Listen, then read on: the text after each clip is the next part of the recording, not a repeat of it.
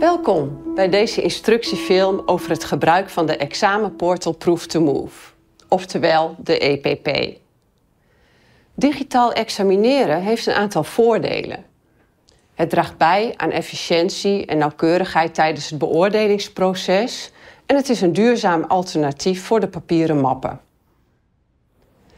Ik ben Jorien Terstegen, projectleider examinering bij Proof to Move en met mijn collega Vincent vertel ik je meer over de EPP. In deze film nemen we je mee in het beoordelingsproces zoals dat plaatsvindt in de EPP. Dit proces staat ook beschreven in de handleiding voor de EPP. In de EPP onderscheiden we verschillende rollen en we leggen uit wat ieder vanuit de eigen rol heeft te doen. Er zijn vier rollen.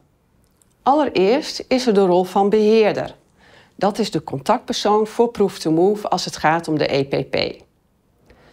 De beheerder richt de examenportal in voor de onderwijsinstelling en koppelt de examenmappen aan de student. Wanneer studentbegeleider of examencommissie vragen hebben, dan kunnen zij terecht bij de beheerder. Het is dus aan te raden om meerdere beheerders te nemen, zodat de gebruikers altijd met hun vragen terecht kunnen. Dan hebben we de rol van studentbegeleider. Dit kan een mentor zijn, de studieloopbaanbegeleider of een BPV-docent. De studentbegeleider is niet de beoordelaar. De beoordelaar heeft namelijk geen rol in de examenportal zelf, maar wordt per examenopdracht uitgenodigd. Vincent laat straks zien hoe dat in zijn werk gaat. Ten slotte hebben we natuurlijk nog de rol van de examencommissie, die de resultaten vaststelt van de examenopdrachten, en de rol van student, want daar gaat het natuurlijk om. Voordat de beheerder het systeem inricht, dient de onderwijsinstelling een aantal keuzes te maken. Als eerste is er een keus wie de beoordelaar uitnodigt. Dat kan de studentbegeleider doen, maar dat kan ook de student zelf doen. Vervolgens dient een keus gemaakt te worden uh, wie de eerste herkansing uitzet. Dat kan gebeuren door de studentbegeleider, dat kan ook gebeuren door de examencommissie. Een tweede herkansing wordt altijd door de examencommissie uitgezet. Bij verschillende opleidingen worden technische handelingen beoordeeld. Een onderwijsinstelling dient bij de start aan te geven hoeveel technische handelingen verplicht moeten worden beoordeeld om een positief resultaat te krijgen. Ik neem je mee bij de inrichting van de EPP. We beginnen met de rol van beheerder. Hier rechtsboven kan je zien hoe je ingelogd bent. Daar staat dan je naam. Elke rol heeft zijn eigen dashboard. Op het dashboard wordt getoond wat interessant is voor die rol.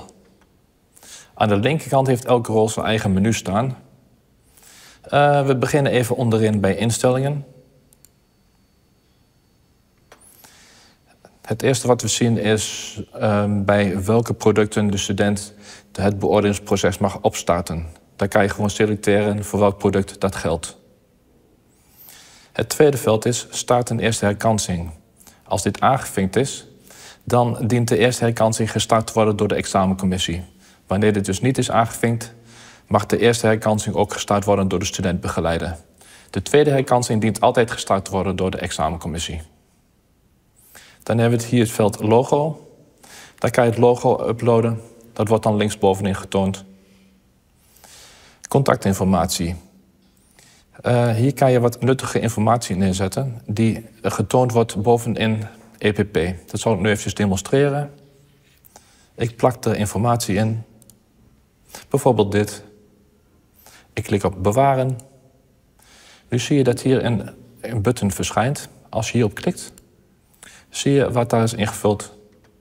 Dus op die manier kan de gebruiker contact opnemen met de desbetreffende persoon van de school. Het laatste veld is minimum aantal voor technische handelingen. Hierin voer je in hoeveel technische handelingen minimaal uitgevoerd moeten worden. Vergeet niet om op opslaan te klikken hier onderin, op bewaren heet het trouwens. We gaan nu naar administratie. Dat is meer voor de facturatie. Hierin kan je zien um, wat in welke week is afgenomen. Bijvoorbeeld de week 15 is dit product afgenomen en het aantal is 5. We gaan nu naar toegang. Toegang bestaat uit twee delen. Uit gebruikers en uit klassen.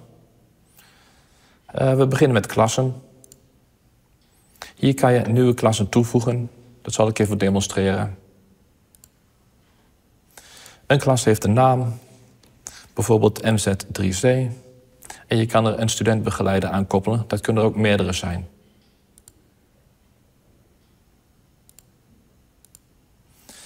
We klikken op bewaren en sluiten. Wanneer de klas is toegevoegd, kan je er weer op klikken. En dan zie je hier de tabblad acties staan. Um, hier kan je studenten importeren door middel van te klikken op de knop Importeer studenten. Je kan hier een template downloaden en die kan je dan uh, vullen met de studenten. Dat heb ik alvast gedaan. Dus ik zal de bestand even selecteren. Als je dat bestand geselecteerd hebt, klik je op Importeer studenten. We zien nu dat de, de, studenten geïmporteerd zijn. Behalve de eerste student, want die stond al in het systeem. Daardoor, daarom is die genegeerd. We klikken nu op OK om dit venster te sluiten. Uh, ook kan je één of meerdere examenproducten koppelen aan deze klas. Dat gaat door middel van deze knop Voeg examens toe.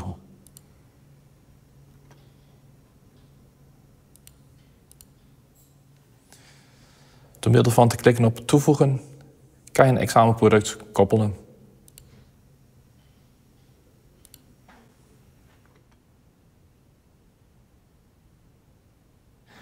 Je kan uh, ook extra producten koppelen, bijvoorbeeld deze. Nu is deze ook gekoppeld.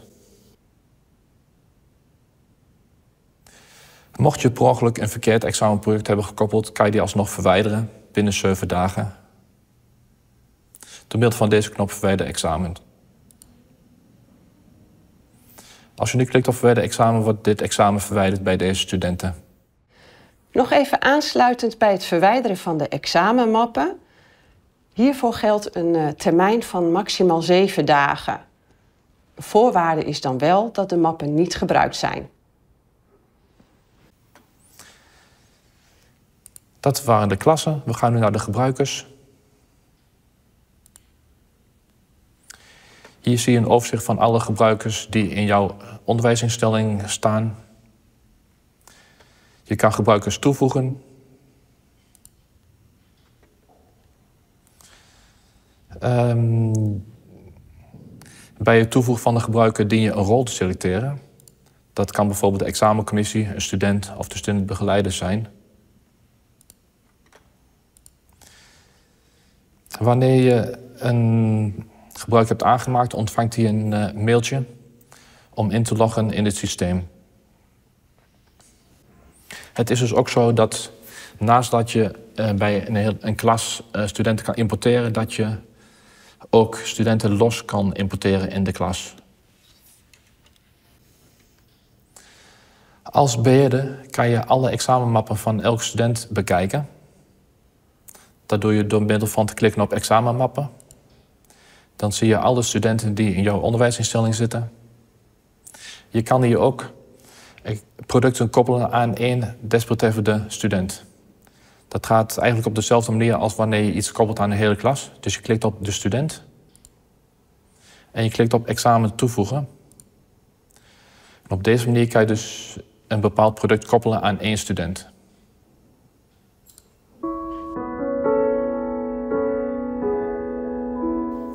Nu zien we hier rechtsbovenin dat we ingelogd zijn als SADE studentbegeleider. We zijn nu ingelogd als SADE studentbegeleider. Dat kan je hier rechtsbovenin zien. De studentbegeleider heeft een eigen dashboard met interessante informatie en aan de linkerkant alleen examenmappen. Als je klikt op examenmappen zie je de studenten die aan jou gekoppeld zijn. Je kan klikken op de student. Dan zie je dit scherm, dus de producten. Als je klikt op maatschappelijke zorg, dan zie je de opdrachten die eronder hangen. Als je klikt op de opdracht, dan zie je de tekst van de opdracht. Je ziet het beoordelingsformulier, die is uiteraard nog leeg. En nu kunnen we een beoordelaar uitnodigen door te klikken op kies beoordelaars. Hier voer je het e-mailadres in van de beoordelaar en je klikt op toevoegen. Je kan er ook voor kiezen om meerdere beoordelaars uit te nodigen. Dan doe je dit dus ook voor andere beoordelaars. Als je daar klaar mee bent, klik je onderin op beoordeling starten. Nu zijn de beoordelaars uitgenodigd door middel van een e-mailtje. We pakken de e-mail er even bij. Dit is hoe de e-mail eruit ziet. Je ziet dus om welke opdracht het gaat en om welke student het gaat. Daarnaast zie je hoeveel beoordelaars zijn uitgenodigd. In dit geval is dat er maar eentje. Als je hierop klikt, kan je een handleiding lezen. Die handleiding is puur de stappen van het beoordelen.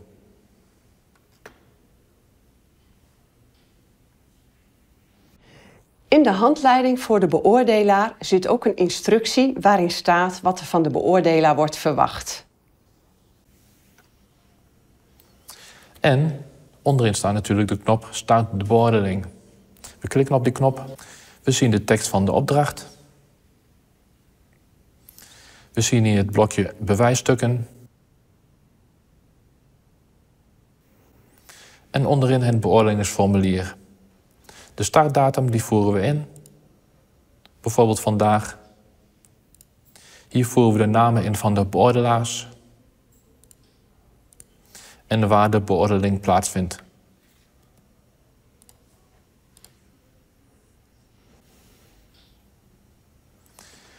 Hier geven we per criteria de score.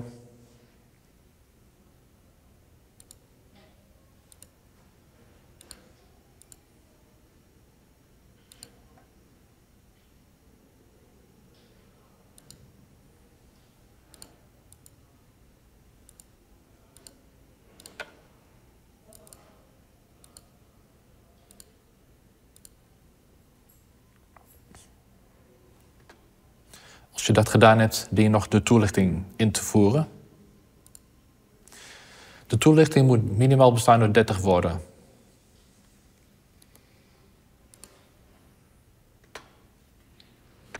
Hieronderin dien je nog even aan te geven dat je gerechtigd bent. Door middel van een vinkje. Je kan tussentijds opslaan. Op die manier kan je dus later verder gaan met de beoordeling. Als je daarmee klaar bent, klik je op beoordeling versturen.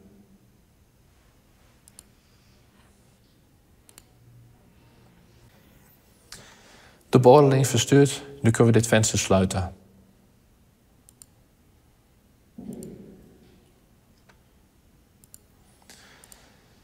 Wanneer de studentbegeleider gaat naar de examenmappen, kan die zien dat de status is controle door de student. Ook ziet hij de um, beoordeling.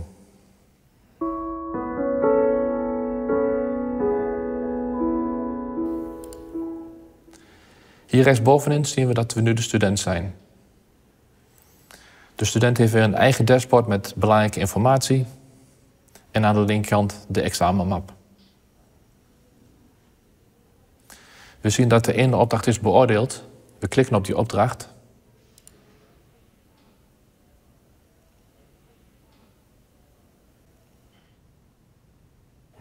De student kan bewijsstukken toevoegen, zoals bijvoorbeeld bij het criteriumgericht interview. Zodra de beoordeling gestart is, het zij door de studentbegeleider of door de student zelf, kan de student bewijsstukken uploaden. Dat gaat als volgt. De student logt in in EPP en opent de opdracht die in beoordeling is. Bij het kopje bewijsstukken kunnen video's of bestanden worden toegevoegd. Wil je een video toevoegen, klik dan op Voeg video toe. Geef het een naam en kopieer de URL van de video en plak het in het veld. Klik vervolgens op toevoegen. Om een bestand toe te voegen, klik je op voeg bestand toe. Geef het de naam. Selecteer het bestand. En klik op toevoegen.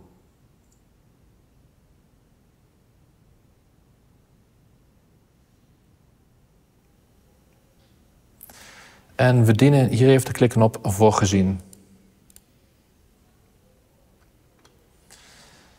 Uh, dat betekent niet dat je eens hoeft te zijn met het resultaat van de beoordeling, maar het is puur dat je uh, de beoordeling gezien hebt.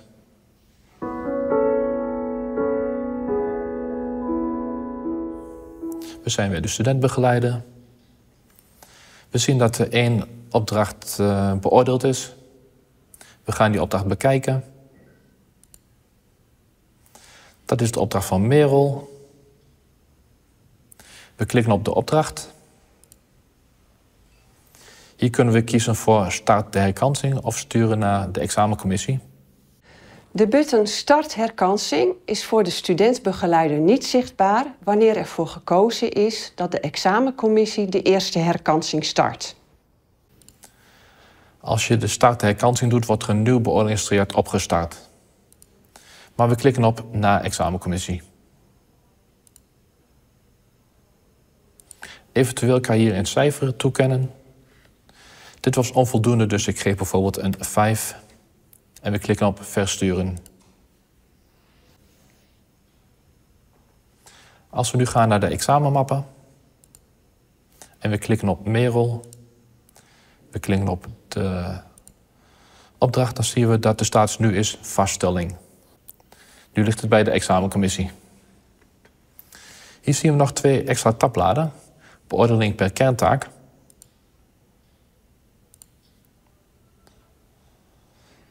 En de documenten. De documenten kan je één voor één downloaden. Of je kan ze gebundeld downloaden. Dan dien je ze even te selecteren. En dan kan je klikken op download de aangevinkte documenten.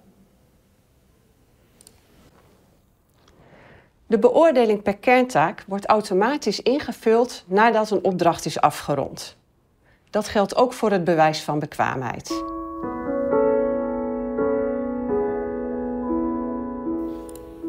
We zijn nu ingelogd als de examencommissie.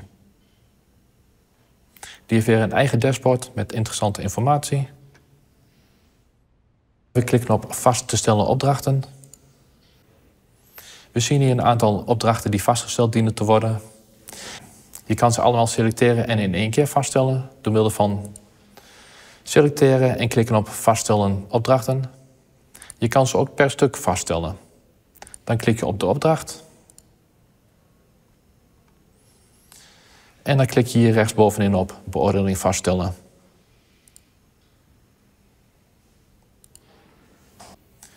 Nu is de beoordeling vastgesteld.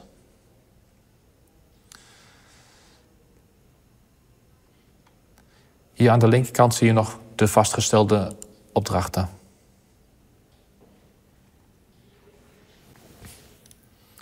We hebben nu alle stappen doorlopen, vanaf de beheerder tot en met de examencommissie die de laatste stap uitvoert. We vertrouwen erop dat we je meer duidelijkheid hebben gegeven over het gebruik van de EPP. Mocht je nog vragen hebben, dan kun je natuurlijk mailen met info.prooftomove.nl. Hartelijk bedankt voor je aandacht.